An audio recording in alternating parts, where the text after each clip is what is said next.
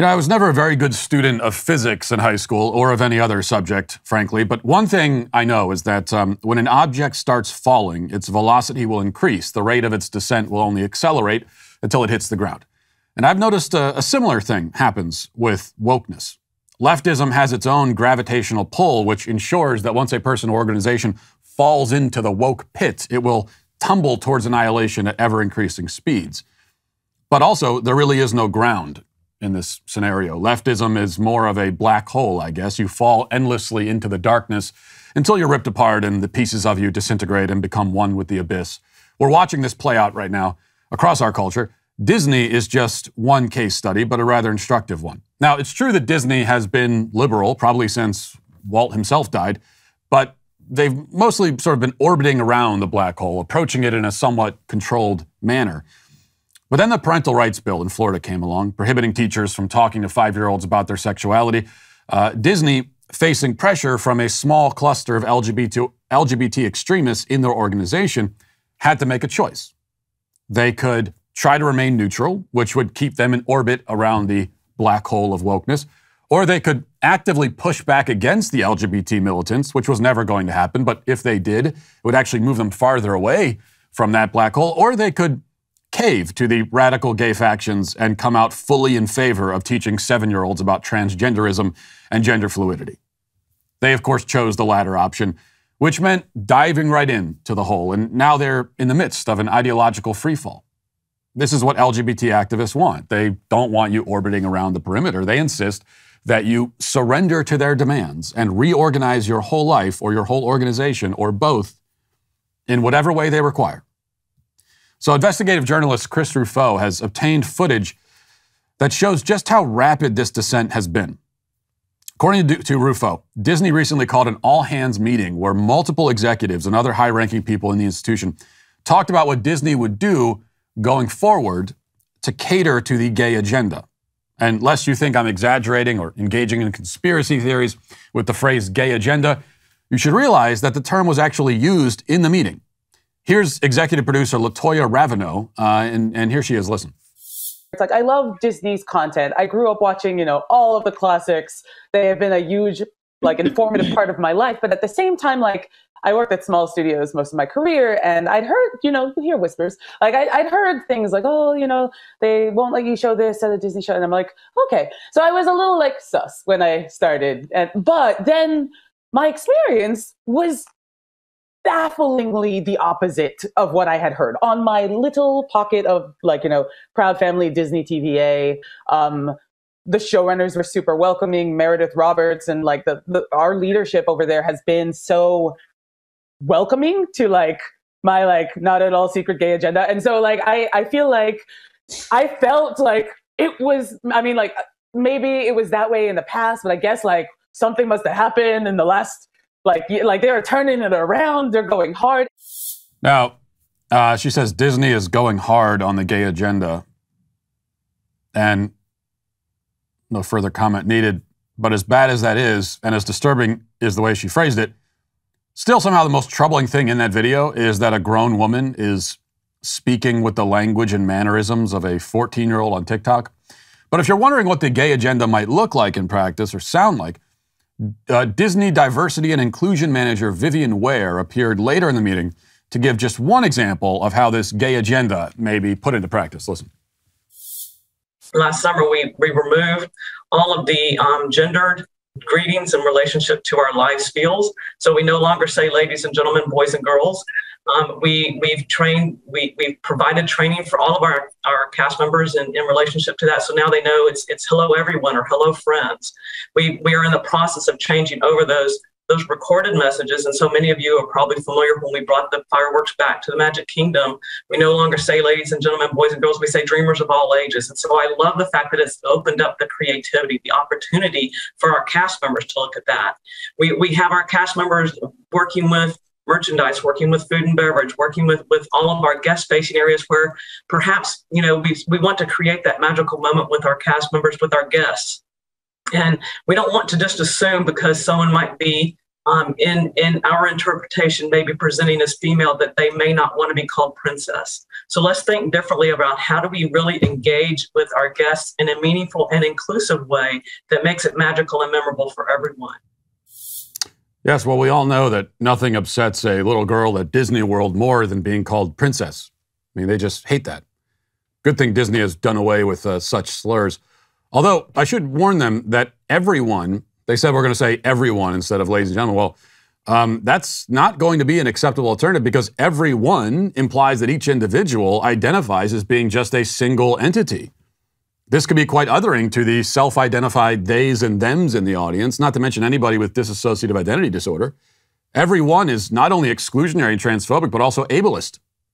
Now, at another point in the meeting, Disney production coordinator Alan March made an appearance where he, he assured the, the assembled staff that his team has created a tracker to ensure that Disney is telling a sufficient number of queer stories. Listen. Yeah, um, I've had the privilege of working with the Moon Girl team for the last two years, and they've been really open to exploring queer stories. And part of, I'm on the production side, uh, part of uh, the work that I feel like I can put in is um, making sure that we take place in modern day New York. So making sure that that's like an accurate reflection of New York. So I put together like a tracker of our background characters to make sure that we have like a, the full breadth of expression. And uh, we got into a very similar conversation, Karey, of like, oh, all of our like gender nonconforming characters are in the background.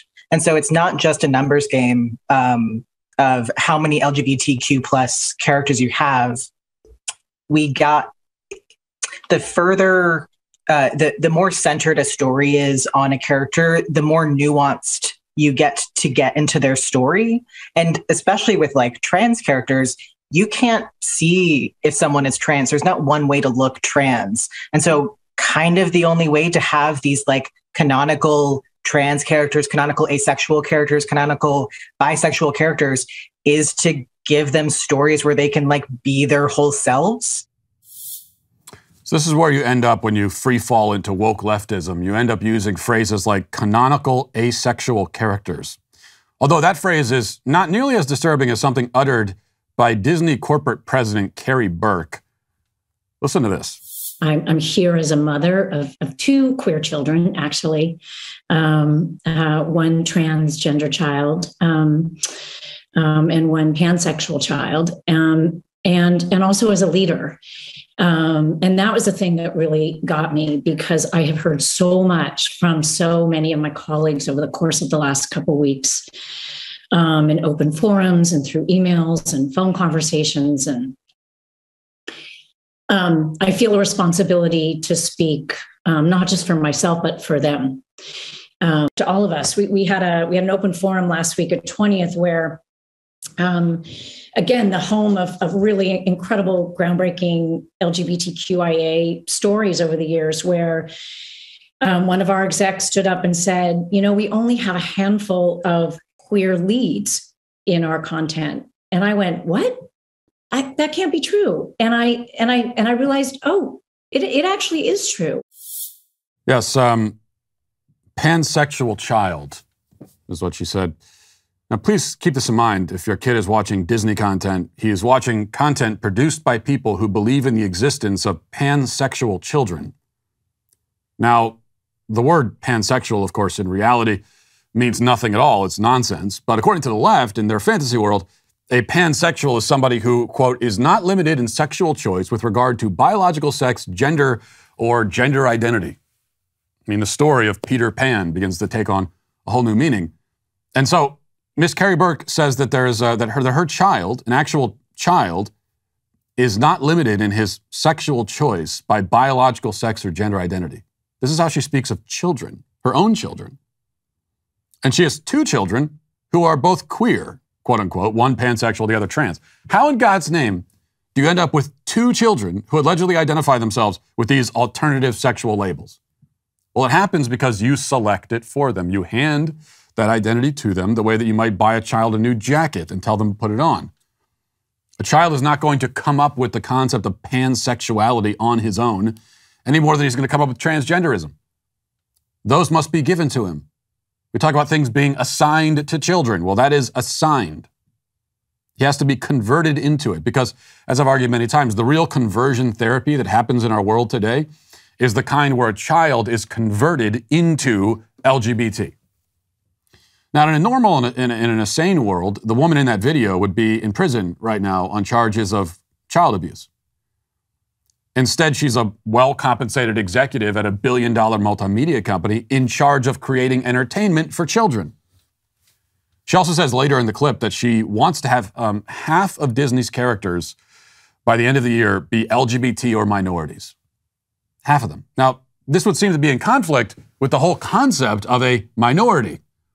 If the idea is simply representation, then why is there this push for overrepresentation? Why the insistence on making these identities more prominent on screen than they are in real life? Well, here's the important point. When these people talk about representation, they don't mean that they want the characters and storylines to represent America as it currently is. They want it to represent the kind of world and culture they wish to create. They're not representing culture, they're making it. They want to have a, a, whole lot more, quote, LGBT children, which means putting a lot more of it on the screen. They want to reshape the world, which means reshaping your child. The only question now is whether you, as a parent, are going to let them do it. Well, I hope you enjoyed that clip from the Matt Walsh Show. If you did, go ahead and hit that subscribe button right down there so you can stay up to date on all of our future content.